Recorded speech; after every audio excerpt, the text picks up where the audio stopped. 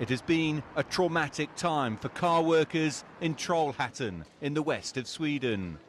After years of uncertainty, this giant Saab car plant eventually stopped production in 2013.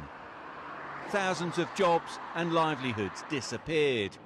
But now it is back under new owners, a new name, and an electric car that already has an order book worth more than $12 billion. The first car will launch during next year and will be put into production uh, early 2018.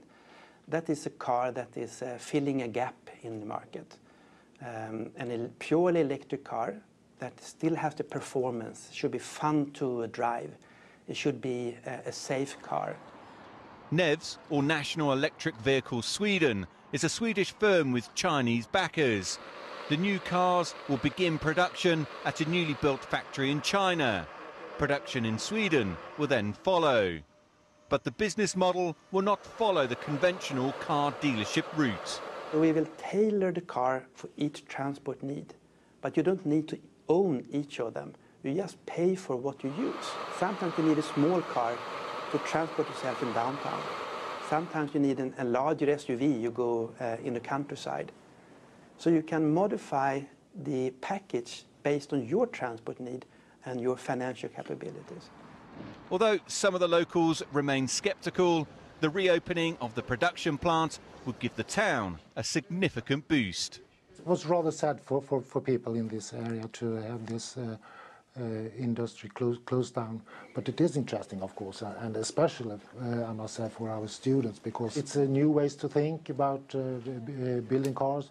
Although for many here the path over the last few years has been a difficult one, the outlook now is altogether much brighter. And at the core of this project is a car that also has benefits for the environment. Four million people die every year from air pollution. One third of that comes from the automobile industry. The technology has been ready for many years, but the OEM has not taken their part of the, the responsibility. So we will really take an active role to shape the mobility for a more sustainable future. So it means we don't sit on the sideline waiting until electric car is the dominant. We are, are driving the development. Saab toyed with electric transport in the past, but NEVS hopes to take the electric car industry to a whole new level. Dan Williams, CCTV, Trollhättan, Sweden.